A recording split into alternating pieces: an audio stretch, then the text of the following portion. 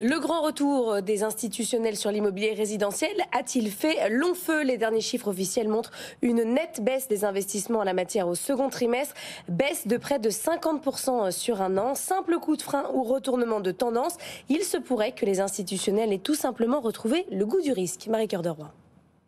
Bureau, commerce, des investissements rentables mais risqués qui avaient poussé les institutionnels à revenir sur le résidentiel en particulier depuis la crise sanitaire.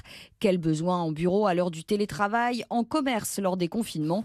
Les grands investisseurs se sont donc rappelés que se loger restait une nécessité, quelle que soit la crise, d'où leur retour sur le résidentiel ces dernières années en particulier l'an dernier, avec près de 7 milliards et demi d'euros investis, soit presque deux fois plus qu'en 2019 avant le Covid.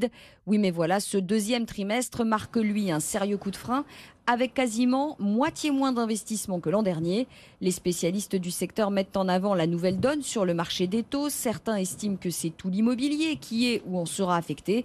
En attendant, pourtant, l'immobilier tertiaire, bureau, commerce, logistique, lui, revient en force avec 6 milliards d'euros investis au deuxième trimestre, soit 70% de plus qu'il y a un an.